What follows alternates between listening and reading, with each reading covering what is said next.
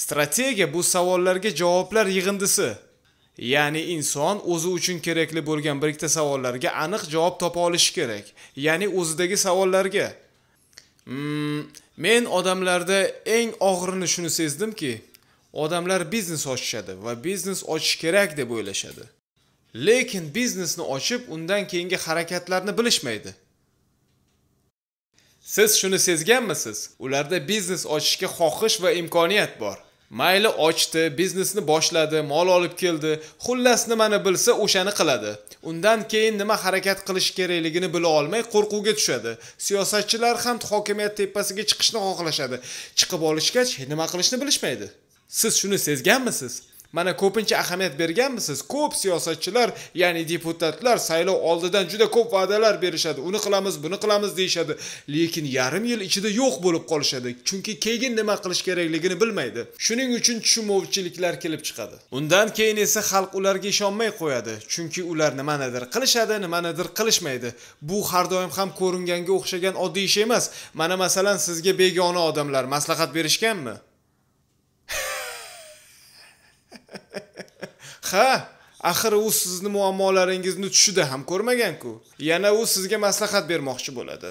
Bilasizmi meni yana bir narsa hayratlantiradi odamlar shu narsalarni eshitadi ham.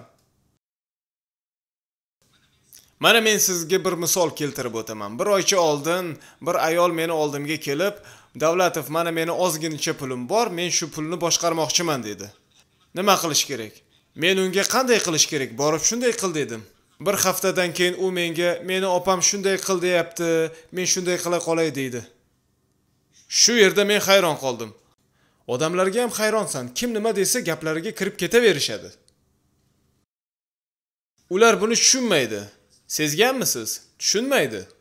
Odamlar ongi shunchalik chegaralanganki bu dahshat albatta. Ular hech narsa bilmaydigan odamlar maslahatiga kirib yuradilar. Mendan yaqinda bir kishi so'radi. Sen o'z yaqinlaring bilan maslahatlashasanmi dedi. Men unga albatta men 5 marta maslahatlashganman va 5 marta yutqizganman dedim. U menga qanday dedi. Men ha men bir paytlar maslahatlashgan edim dedim. Tojikistonda esimda bir yaxshi bino qurmoqchi bo'lgan edim. Men bir joyni yarim yil davomida olishga harakat qilib keldim va juda ko'p harakatlar qildim. Oxirida menga hokim shunday dedi. Mana bu yerda xo'jan shahri joylashgan bu yerda esa juda ko'p bo'sh joylar bor. Faqat xudo biladi u yerda qancha yer borligini. Mana xo'jandliklar ham o'tirishibdi gapimni tasdiqlashadi. Mana teparoq 12 mikrorayon tarafdan deydi. Xohlaganingcha yer qilib beraman. Xohlaganingcha xohlasang hujjat qilib beraman deydi. Men akamni olib borib ko'rsatsam u menga aqldan ozganmisan deydi. Bu yerda nima qilasan yer olib? Bu roppa rosa 10 yil avval bo'lgan edi do'stlar. 2006 yilda rosa 10 yil avval. Hech esimdan chiqmaydi fevral yoki mart oyi edi.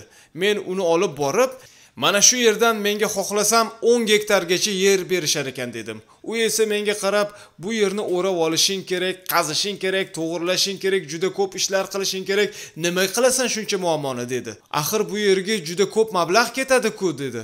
Nima qilasan o'zingni qiynab dedi. Endi endi o'sha kun meni oldimga bir shogirdim kelib ustoz meni proyektimga homiylik qilasizmi dedi. Nima xohlayapsan dedim. Mana bu yerda tog'lar bor tog'lar bor do'stlar. Agar bu yer 10 gektar bo'lsa qolgani 50 gektar deb aytsa bo'ladi. Agar tog'ni yonigacha ham hisoblasak mana shu yerda o'sha shogirdi menga kelib menda shunday proyektlar borki uy qurib ularni sotish kerak dedi. Men unga qayerda desam u kartani ochib menga xuddi shu uchastkani ko'rsatyapti. Endi men undan so'rayapman diqqat qiling. Mana shu yerda bir sotiq yer qancha turadi deb so'radim. U menga qarab 6 sotiq yer agar misol uchun oladigan bo'lsak mana shu yerdagi 1 kilometr ichidagi har bir 6 sotiq yer 30 ming dollar turadi deb aytdi. 6 sotig'i 30 ming dollar. Endi siz tasavvur qiling menda 10 gektar bor. Zo'r a men unga esa sal nariroqdagi yerlar qancha turadi desam u menga tog'ga yaqin yerlar 15 ming dollar turadi deb aytdi. Men u bilan suhbatlashib o'zimga o'zim juda ham qiziqa dedim. Shu paytda akam kelib qoldi. Akam oldimga kelib shunday dedi. Sen hech qachon meni eshitmaysan. Ana shuning uchun doimo muammodasan deydi. U shunday deydi u mendan kattada kattaroq bo'lsam aqlliroqman deb o'ylaydi. Bu doim shunday-ku. Men esa unga menda ajoyib xushxabar bor dedim. U menga qanday xushxabar dedi. Va men unga buni ko'rsatdim.